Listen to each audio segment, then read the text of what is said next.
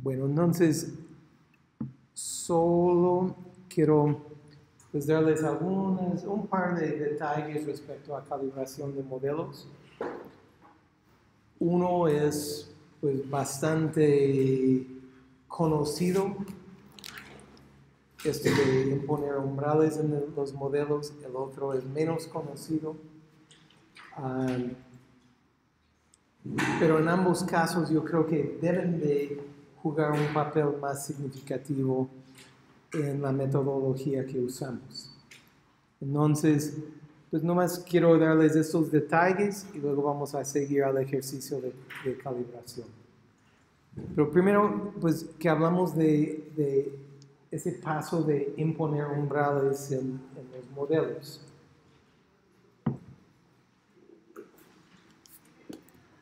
Y realmente esta exploración empezó en creo que 2006, 2007.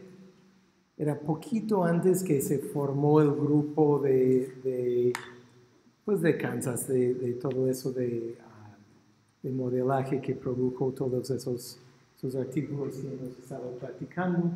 Entonces, pues Mona Papesh ah, fue estudiante mía y ahora es profesora en la Universidad de Tennessee. Y Mary fue postdoctorado y ahora es profesor en, Iowa. Pero esa, esa exploración fue algo que a mí me enseñó lecciones muy fuertes. Y simplemente era de tomar especies muy bien conocidas. Esto es Senaidam macrura, que se encuentra aquí en las afueras de Jalapa. Y simplemente hicimos un ejercicio de una partición espacial. Y entonces los puntos de presencia son o los cuadritos o los círculos y los datos de ausencia son estas cruces que no se ven muy bien, pero más o menos se dan la idea.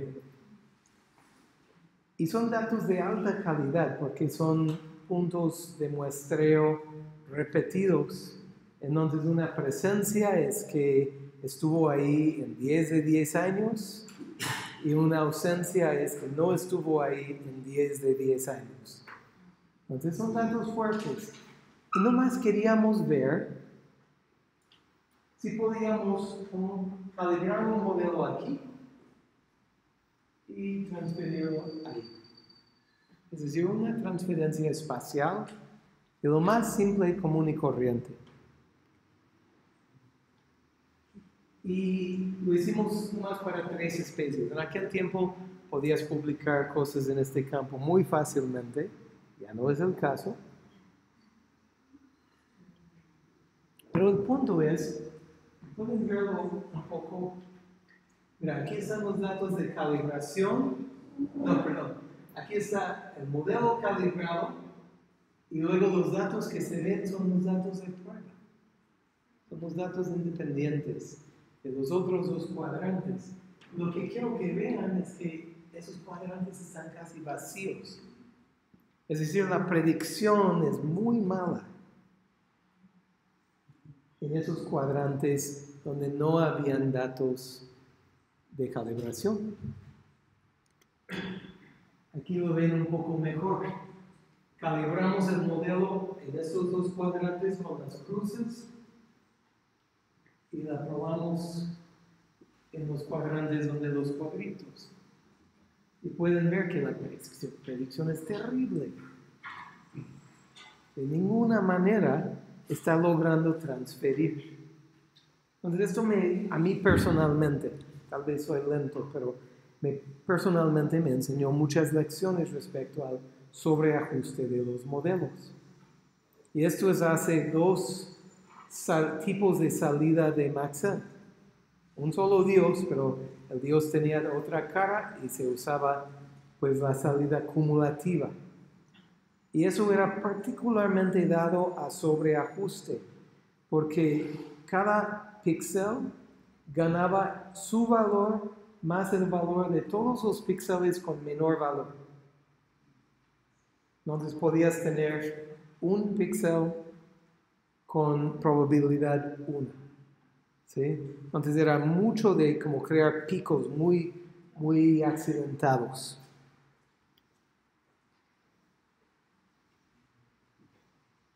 ¿De dónde vienen esos, esos gráficos de Maxa en solo Dios, verdad? Y noten que ven esto en todos lados en el Internet.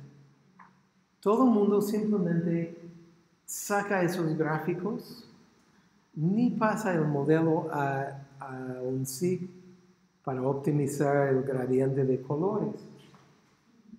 Pero es, algo muy interesante y muy peligroso, porque, bueno, vean aquí,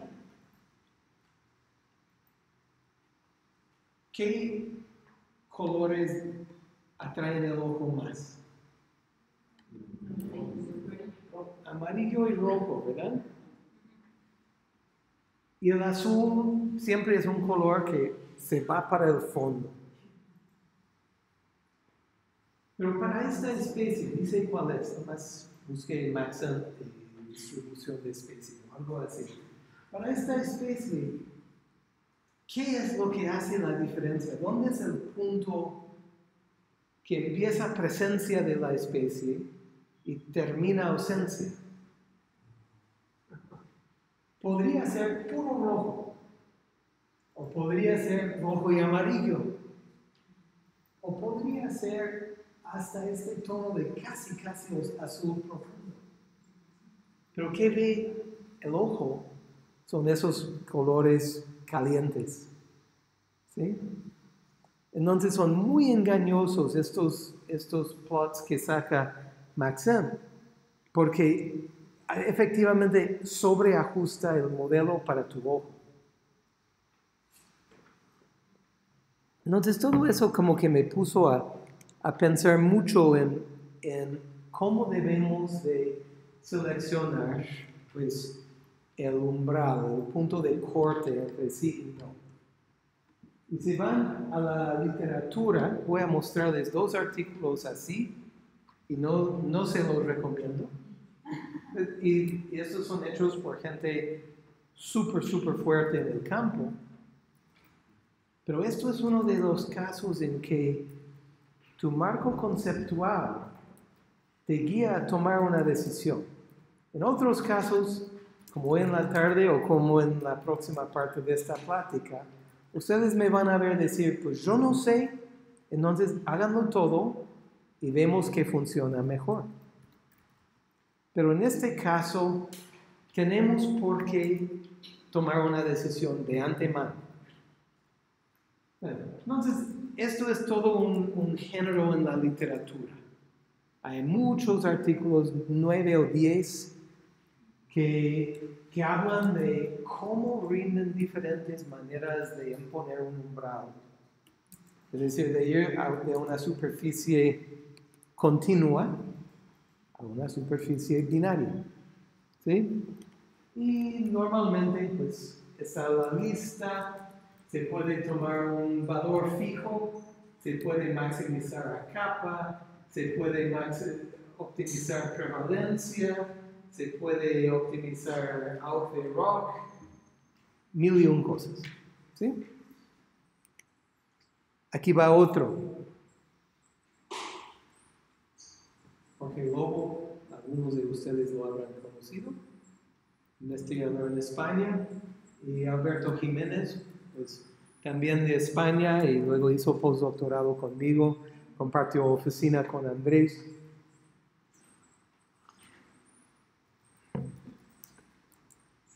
Y lo mismo, es otro de cuál método usamos. Y ellos presentan estas diferentes evaluaciones de diferentes métodos de imponer umbrales. Pero quiero volver al, al BAM, porque nos puede enseñar lecciones. Andrés les acaba de explicar esto. Ustedes saben que pues, la distribución potencial de nuestra especie sería esto, que todas las condiciones tanto abióticas como bióticas, son adecuadas para la especie. Pero nuestra especie solo tiene acceso a una parte de eso. ¿Sí? Entonces las presencias están en, este triángulo. ¿Sí? La especie está ausente fuera de M porque nunca llegó ahí. Nuestra especie está ausente de Marte y Alpha Centauri. ¿sí? Y también una especie aquí a lo mejor está ausente en África. O a lo mejor en la Sierra Madre Occidental. O a lo mejor cruzando un valle aquí en la Sierra Madre Oriental.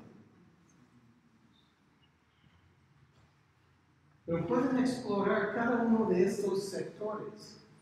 Por ejemplo, aquí lo biótico está adecuado y está accesible, pero algo falta en lo abiótico. ¿Sí? Nada más quiero señalarles que las presencias vienen de la triple intersección y las ausencias vienen de todos lados. Y solo, solo estos nos dan el contraste de ambientes apropiados y ambientes no. ¿Verdad? Porque la especie llegó ahí, pero estos son datos negativos. Y ya señalamos que todavía no sabemos estimar a M muy bien. Entonces, de antemano, pueden ver que las presencias valen más que las ausencias. ¿Por qué una presencia va a estar fuera de esto? Bueno, una presencia en estos sectores se llama una población sumidera. Llegó ahí no se mantuvo la población. Y luego puede, pueden generar presencias donde sea por medio de errores. Un espécimen mal identificado, unas coordenadas geográficas mal georreferenciadas o con un error tipográfico.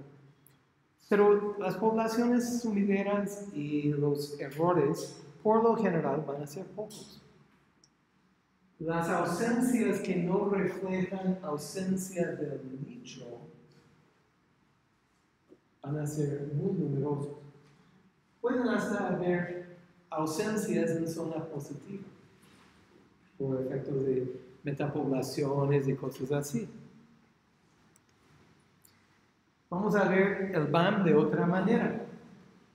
Dentro de M, sí o no, Dentro de B, sí o no. Dentro de A, sí o no. Y es solamente si es sí, sí, sí, que estamos en ese triángulo del pan. Y luego hay otras cosas, como si alguien ha muestreado, si acaso detectaron en esa visita la especie, si se reportó, si los datos se compartieron, si los datos no estaban mal georreferenciados, si está determinado el espécimen, lo que sea. Y solo con una respuesta a todas las preguntas que sí, tenemos una presencia. Pero cualquier respuesta que no, en cualquier punto en este, en este árbol de probabilidades, Cualquier respuesta que no genera una ausencia. El único, la única pregunta que nos importa para el, para el nicho es esto de A. Simplemente a lo que voy es que es muy fácil generar ausencias o ausencias aparentes y es muy difícil generar presencias. Entonces, cuando queremos una vista binaria de, de una especie, tenemos que imponer un umbral, pero tenemos una guía. Vean esto. Eso es la salida de de quién sabe cuál especie. El mismo comentario, ustedes ven lo amarillo y rojo pero no sabemos si esto, que es poquito menos que azul profundo, no sabemos si eso es adecuado para la especie o no. ¿Sí? Entonces, imaginen que tiramos este mapa en su lado, lo vemos así en una dimensión.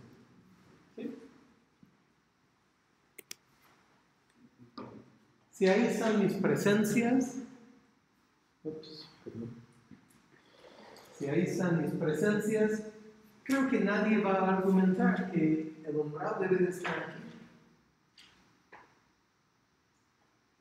Eso se llama least training presence thresholding. De que esto es el umbral más alto que abarca todos los puntos de presencia conocida. ¿Sí? Y si acaso tuviéramos más presencias que corresponden a esto, pues creo que no les va a molestar bajar el umbral. Y nuestra predicción es así.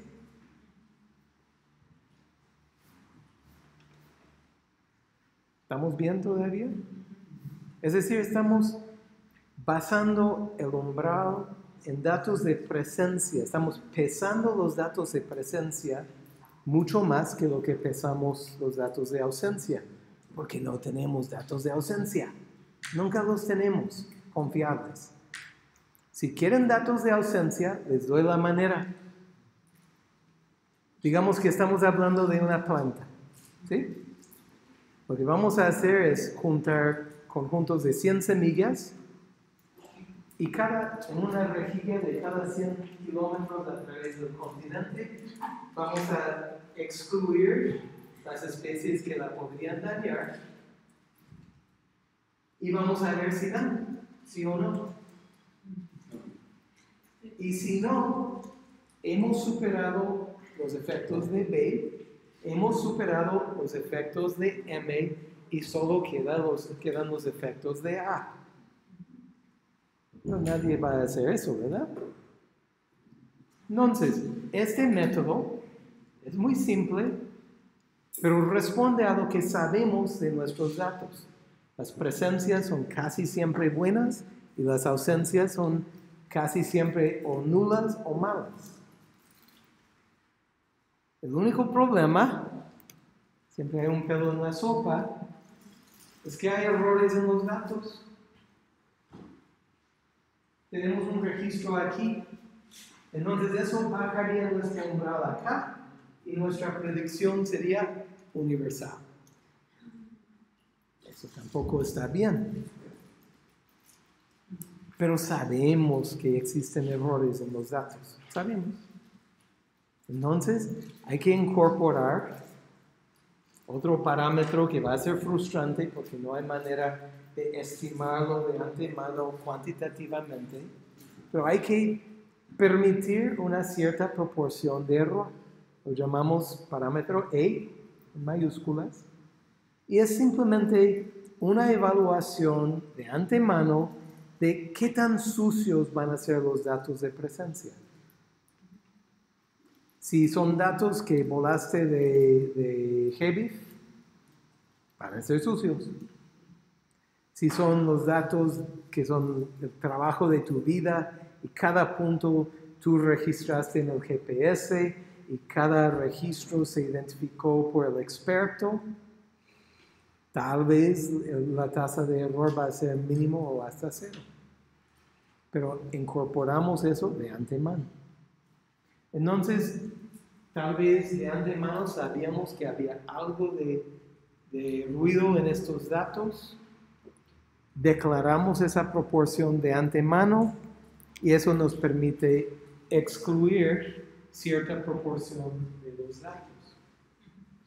Entonces, para ponerlo más con símbolos, lo tradicional de least training presence threshold, lo podemos, lo podemos llamar creciente. Y cuando tenemos un E mayor que cero, entonces buscamos T de 100 menos E. ¿Y cómo se hace? son los datos de calibración, los mismos datos que usaste para generar tu modelo, los sobrepones en la salida del modelo, les pegas los valores de la salida del modelo usando extract to point o esa función que está en cada SIG y en R también. Ordenas los puntos de menor a mayor. Quitas los primeros puntos, es decir, los con menos adecuación.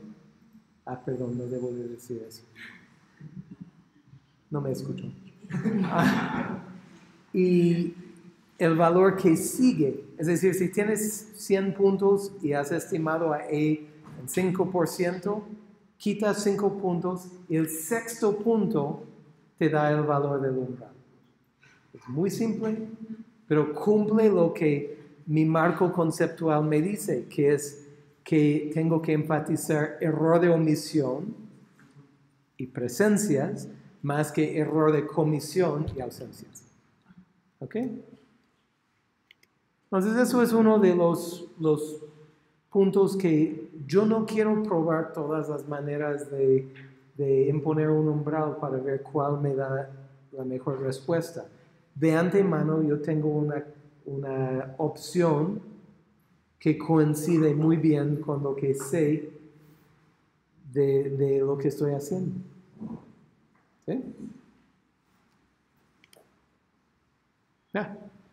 Mal, mal escrito, ya acabamos de hablar de, umbrales. Esto es lo del no silver bullet, es decir, segundo tema. ¿Alguna otra pregunta respecto al primer tema, de umbrales? ¿6, 2, 1? No. Ok. Vamos a hablar de, de no silver bullets. Varios de ustedes conocen a, Soberón, eso fue cuando era biopolítico, entonces pueden ver que en la mesa de México queda enfrente de Ruanda y Rumania.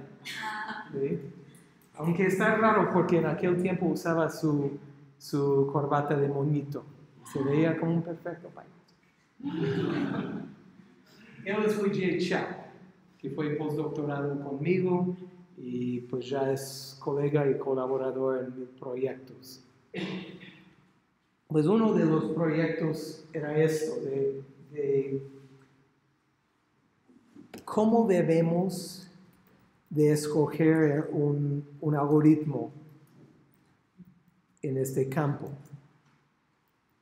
Desde contado del, artículo de Eli, reconocemos a un solo Dios. Pero algo, algo no nos parecía bien de eso. Y tanto Soberón y yo estábamos en el proyecto de él. Entonces la idea es que con la bala de plata le das al hombre lobo y se muere. Y también la bala de plata me mata a mí también, ¿verdad? Entonces sirve para todo. Y la pregunta es si un algoritmo de modelaje de nicho podría servir para todo. Para ser más específico, que si podría ser el mejor en todos los casos. Pues tienen este concepto en el campo de optimización. Y efectivamente lo que dicen es que si estás en un reto complicado, tienes que optimizar algo, pero que es algo complicado, como un nicho ecológico que rara vez una herramienta de optimización siempre va a ser mejor. Eso suena conocido, ¿verdad? Hay otro, a ver si tengo de eso, no. Hay otro concepto parecido que es no free lunch, que suena muy diferente, pero quiere decir lo mismo. Quiere decir que todo tiene un costo. Entonces, si, si un algoritmo es bueno en conjuntos de datos grandes, tal vez no va a ser bueno en conjuntos de datos pequeños. O si es bueno en una cosa, va a ser mala, malo en otra. ¿Okay? Entonces, esos dos conceptos están bien conocidos fuera de nuestro campo. y pues nosotros decidimos explorarlos. Entonces lo que hicimos, idealmente hubiéramos usado los datos de Elliot, ¿sí? Pero no eran disponibles. No, no todo el mundo cree en abrir los datos. Entonces decidimos, pues vamos a crear nuestro propio conjunto de especies. Entonces lo que hicimos era de agarrar datos de ambientes reales. Esos son, cada uno de estos es un píxel en un mapa. Eso es un lado de la dualidad de, de Hutchinson. ¿sí? Y creamos nichos grandes y nichos pequeños, nichos céntricos y nichos periféricos. Simplemente creamos una diversidad de especies. Especie es un elipsoide que representa un nicho fundamental. Ahí están unos nichos más grandes. ¿sí? Ahora, ¿qué hizo él? Esta figura se ha citado tantas veces. ¿Les gustan las películas de Clint Eastwood a pesar de su política? The good, the bad and the ugly, ¿verdad? Efectivamente, esto fue el estreno de AUC, el modelaje de nicho, y también fue el estreno de esta pesadilla que se llama correlación. Eso simplemente es la correlación de Pearson entre la salida del modelo y una superficie que tiene unos para presencias de evaluación y ceros para el resto del mapa. Está súper dependiente de prevalencia, es un desastre. No se ha usado desde entonces. Y ya pues se, se, volvió en, en, otro, otro Dios único. Todo el mundo lo usa y nadie escucha de que tiene problemas fuertes. De eso hablamos mañana. El punto fue y aquí ven que Maxent rinde bien a través de 641 especies en las dos métricas. algunos otros, pero nadie pone atención a ellos. Hay algunos que quedan en medio y luego están los feos. ¿Sí? Pero quiero que vean qué es esto. Es el rendimiento en promedio. Entonces, por ejemplo, BioClean queda aquí horrible en promedio, tanto respecto a out como respecto a core. Y aquí pueden ver alguna medida de varianza. Entonces eso es el comportamiento promedio a través de 600 y algo especies. ¿Quién aquí está trabajando con 600 especies? Mejor una a la vez, ¿verdad? Para una especie, fácilmente el comportamiento de un algoritmo no representa bien su promedio, ¿verdad? Entonces lo que hicimos era de efectivamente replicar ese mismo gráfico con comportamiento en, promedio y pueden ver por ejemplo que Maxent tiene muchos aquí arriba a derecha en la zona de Buenos. Y a ver, Random Forest tiene unas fallas absolutas. Marble tiene unas fallas horribles.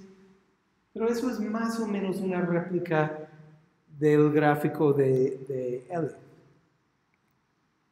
Pero esto es otra manera completamente de hacer la misma pregunta no buscamos su rendimiento en promedio. Para cada una de nuestras especies preguntamos cuál algoritmo fue el mejor para esa especie. Entonces, eso es el número de especies en que ganó un algoritmo y estos son los algoritmos. Ni quiero que vean los nombres de los algoritmos. Simplemente quiero que vean que a través de dos métricas y dos diferentes maneras de medir calidad del modelo, en por lo menos un caso, cada algoritmo fue mejor para por lo menos un caso. Entonces, si tú dices, bueno, en este caso, este es el mejor, eso ignora de que en, tres casos este fue el mejor. ¿Sí? Es decir, el comportamiento en promedio no necesariamente representa bien el comportamiento en un caso dado. Otra manera de ver la misma cosa es más o menos una curva de rock. Y pueden ver umbrales, esto sería el, el área más pequeña, el área más amplia, y esto es no omitir puntos. Entonces el mejor modelo sería este. Y simplemente queremos que vean la diversidad de, de respuestas. Bueno, entonces las lecciones que aprendimos es que sí, algunos pocos algoritmos pueden rendir mejor en promedio, pero en cualquier situación dada, cualquier de los algoritmos puede resultar mejor. Entonces, si pensamos con este concepto de no silver bullet, no debemos de adorar a un solo Dios. Más bien lo que debemos de hacer es implementar 10 o 20 diferentes algoritmos, sujetarlos al proceso de evaluación, ver cuál, cuál es significativo más y rinde mejor, y usar eso para esa especie en esa situación.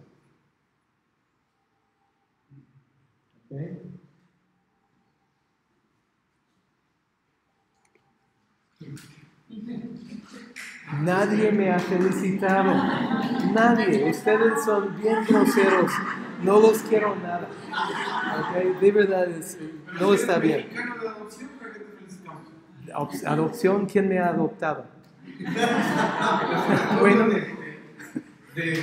lo aprecio, pero mi pasaporte es azul, no verde.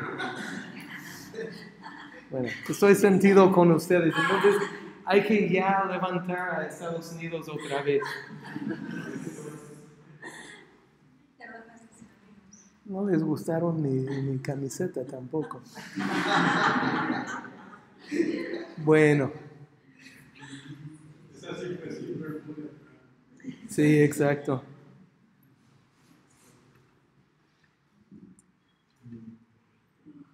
Bueno, ¿quién sabe cómo apagar esto?